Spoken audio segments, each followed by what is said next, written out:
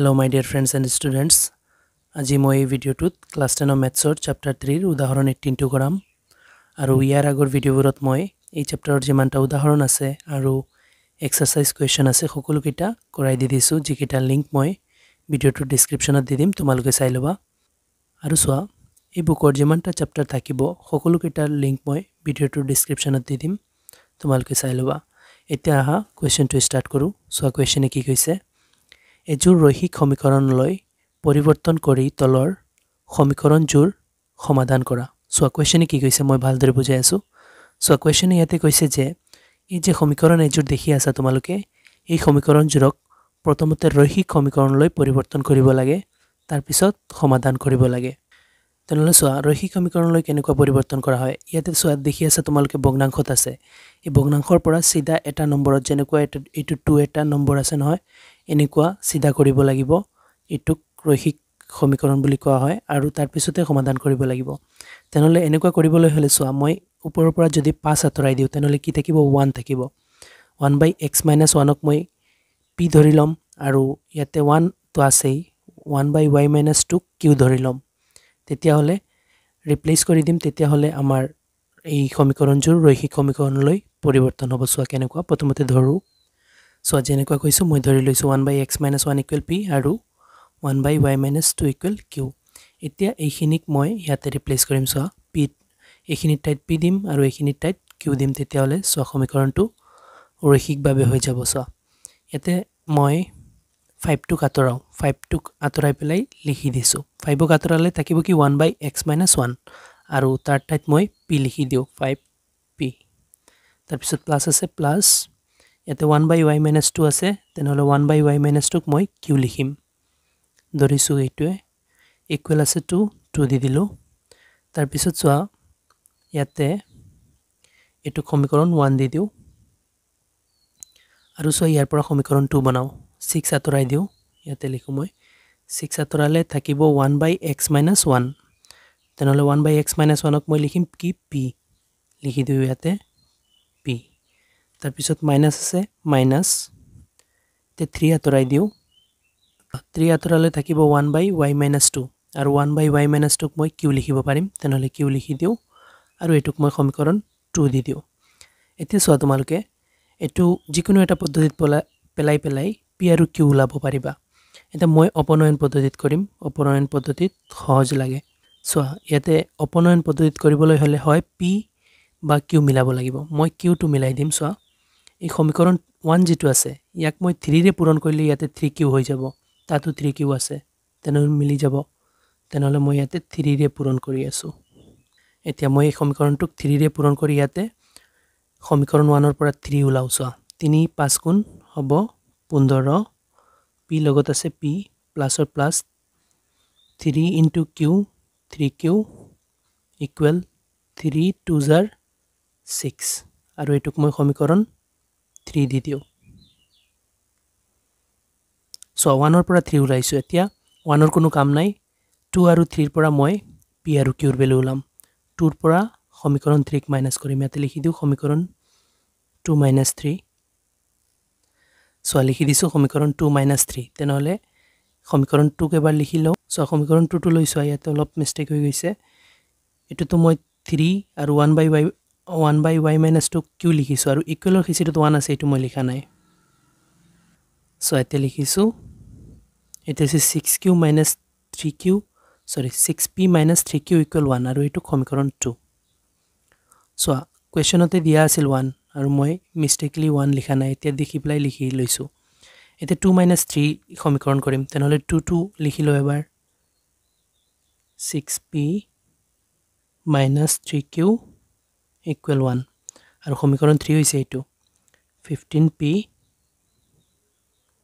plus three q equal six এতিয়া মই এই দুইটাক মাইনাছ কৰি আছোঁ চোৱা। চোৱা সমীকৰণ যেতিয়া আমি মাইনাছ কৰোঁ তেতিয়া তলতে এটা মাইনাছ থাকে বুলি আমি মনে মনে ভাবিলোঁ। এতিয়া এই মাইনাছে মিলি পেলাই সমীকৰণটো যদি প্লাছৰ থাকে তেনেহ'লে প্লাছৰ মাইনাছৰ বনাব মাইনাছে প্লাছে মাইনাছ হ'ব আৰু মাইনাছৰ থাকিলে মাইনাছে মাইনাছে প্লাছৰ হৈ যায়। তেনেহ'লে সকলোকেইটা ভেলু প্লাছৰ আছে। তেনেহ'লে সকলোকেইটাক এই মাইনাছকেইটাই মিলি পেলাই প্লাছ মাইনাছৰ বনাই দিব। চ' কেনেকুৱা? মাইনাছে প্লাছে মাইনাছ ফিফটিন পি। ইয়াতে মাইনাছ ফিফটিন পি। তেনেহ'লে আনচাৰ মাইনাছৰে হ'ব। ফিফটিনৰ পৰা ছিক্স ক'লে চ' এই এইকেইটা প্লাছৰ আকৌ। প্লাছৰ থাকিলে প্লাছৰ মাইনাছৰ থাকিলে মাইনাছৰ। তেনেহ'লে মাইনাছৰ ফিফটিন পি প্লাছৰ ছিক্স পি। আনচাৰ হ'ব মাইনাছৰ। কাৰণ মাইনাছৰ সংখ্যা ডাঙৰ। নাইন পি হৈ যাব।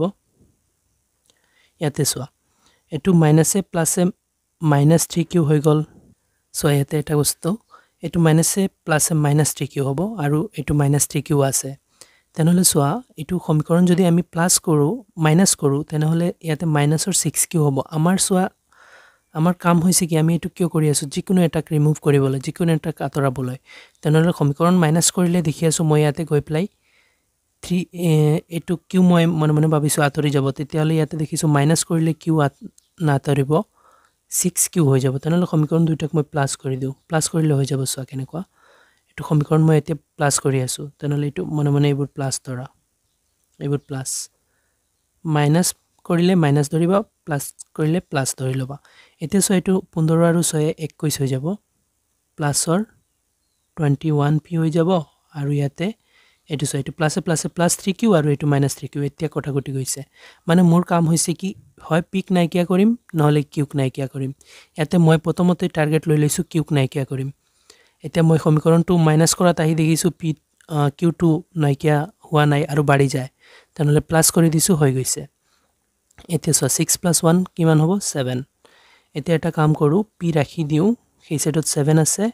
আৰু টুৱেণ্টি ওৱান পূৰণ হৈ আছে সেই ছাইডত গ'লে টুৱেণ্টি ওৱান হৰণ হৈ যাব। ছেভেন দি কাটো ছেভেন ওৱান জাৰ ছেভেন ছেভেন থ্ৰী জাৰ টুৱেণ্টি ওৱান তেনেহ'লে পি ইকুৱেল ওলাইছে ওৱান বাই থ্ৰী এতিয়া পিৰ মান মই যিকোনো এটা সমীকৰণত বহুৱাই দিলে কিউৰ মান ওলাই যাব। তেনেহ'লে এটা কাম কৰোঁ মই পিৰ মানটো নি পেলাই সমীকৰণ টুত নি বহুৱাওঁ। ইয়াতে মই লিখি দিওঁ পিৰ মান সমীকৰণ টুত বহুৱাই পাওঁ। এতিয়া চোৱা ইয়াতে মই লিখি দিছোঁ পিৰ মান সমীকৰণ টুত বহুৱাই পাওঁ। এতিয়া পিৰ মানটো সমীকৰণ টুত বহুৱাবৰ কাৰণে মই সমীকৰণটো আকৌ লিখি দিছোঁ এইটো চোৱা। এইটো সমীকৰণটো মই আকৌ লিখিছোঁ। ইয়াতে মই পিৰ মানটো বহুৱাম চোৱা। পিৰ ভেলু হৈছে ওৱান বাই থ্ৰী তেনেহ'লে ছিক্স ইনটু পিৰ ঠাইত ওৱান বাই থ্ৰী। পিছত মাইনাছ আছে minus three q equal one. এতিয়া এই তিনি ছয়ত গৈছে দুবাৰ তেনেহ'লে বাকী থাকিল কি? Two into one. Two one জাৰ two minus three q equal one এতিয়া এটা কাম কৰোঁ মই মাইনাছৰ থ্ৰী কিউটো ৰাখোঁ আৰু এই প্লাছৰ টুটো সেই ছেটত গ'লে ইয়াত সেই ছেটত অলৰেডি ওৱান আছে আৰু প্লাছৰ টুটো সেই ছেটত গ'লে মাইনাছ টু হৈ যাব। এতিয়া চোৱা মাইনাছ থ্ৰী কিউ থাকক তাৰপিছত সেই ছেটত চোৱা মাইনাছৰ টু প্লাছৰ ওৱান আনচাৰ মাইনাছৰ হ'ব কাৰণ মাইনাছৰটো ডাঙৰ দুইৰ পৰা এক গ'লে এক। এতিয়া মাইনাছ মাইনাছ কেঞ্চেল কিউ ৰাখি দিওঁ ওৱান বাই চোৱা ইয়াতে থ্ৰীটো পূৰণ হৈ আছে সেই ছেটত গ'লে হৰণ হ'ব। এতিয়া কিউৰ ভেলু ওলাই গৈছে ওৱান বাই থ্ৰী এতিয়া চোৱা এতিয়া আমি পাইছোঁ পি আৰু কিউ আমাৰ পি কিউ নালাগে আমাৰ লাগে কি এক্স আৰু ৱাই পি কিউটো নাছিলেই কুৱেশ্যনত এইটো আমি ধৰিছোঁহে। এতিয়া আমাৰ সমাধান কৰিবলৈ হ'লে এক্স আৰু ৱাইৰ ভেলুহে লাগিব। তেনেহ'লে চোৱা ইয়াতে মই পি ইকুৱেল ধৰিছিলোঁ one by x minus one তেনেহ'লে এই ধৰাৰ পৰা আমি আকৌ ওলাই দিব পাৰিম চোৱা কেনেকুৱা। মই ধৰিছিলোঁ p equal one by x minus one এইটো ধৰিছিলোঁ। এতিয়া চোৱা পিৰ ঠাইত পিৰ ভেলু বহুৱাই দিলে এক্সৰ ভেলু ওলাই যাব। পিৰ ভেলু কিমান পাইছোঁ? ওৱান বাই থ্ৰী তেনেহ'লে one by three equal one by x minus one এতিয়া আমি এইটো ক্ৰছ পূৰণ কৰিম চোৱা। X minus one into one x minus ওৱানেই হ'ব আৰু থ্ৰী ওৱান জাৰ থ্ৰী হ'ব। এতিয়া এক্স ৰাখি দিওঁ সেই চিটত থ্ৰী আছে। মাইনাছ ওৱানটো সেই চিটত গ'লে প্লাছ ওৱান হৈ যাব। এতিয়া এক্স ইকুৱেল ওলাই গ'ল আমাৰ থ্ৰী প্লাছ ওৱান ফ'ৰ এতিয়া ঠিক তেনেদৰে ৱাইৰ ভেলু ওলাই দিম চোৱা কিউৰ পৰা। চোৱা মই ধৰিছোঁ ইয়াতে q equal one by y minus two তেনেহ'লে ইয়াতে এবাৰ লিখি দিওঁ q equal one by y minus two এতিয়া কিউৰ ভেলু চোৱা কিমান পাইছোঁ? ওৱান বাই থ্ৰী তেনেহ'লে কিউৰ ঠাইত মই ওৱান বাই থ্ৰী লিখি দিওঁ। আৰু অপজিট ছাইডত আছে y one by y minus two এতিয়া আকৌ ক্ৰছ পূৰণ কৰিম। চোৱা ৱাই মাইনাছ টু ওৱান জাৰ ৱাই মাইনাছ টুৱে হ'ব আৰু থ্ৰী ওৱান জাৰ থ্ৰী হ'ব। ৱাই ৰাখি দিওঁ। থ্ৰী আছে সেই ছেটত আৰু মাইনাছ টুটো সেই ছেটত গ'লে প্লাছ টু হৈ যাব। আৰু ৱাই ইকুৱেল হৈ যাব কি? থ্ৰী প্লাছ টু ফাইভ এতিয়া চোৱা ইয়াতে এক্সৰ ভেলু ওলাই গৈছে ফ'ৰ আৰু ৱাইৰ ভেলু ওলাই গৈছে ফাইভ আৰু এইটোৱে হৈছে ইয়াৰ সমাধান। এতিয়া চোৱা অংকটো ইয়াতে সমাপ্ত হৈছে। আশা কৰোঁ তোমালোকে ভালদৰে বুজিব পাৰিছা আৰু বুজাত কোনো অসুবিধা হ'লে মোক কমেণ্টত জনাবা। আৰু ভিডিঅ'টো ভাল লাগিলে লাইক এণ্ড শ্বেয়াৰ কৰি ল'বা। চেনেলটো ছাবস্ক্ৰাইব কৰি দিবা। Thank U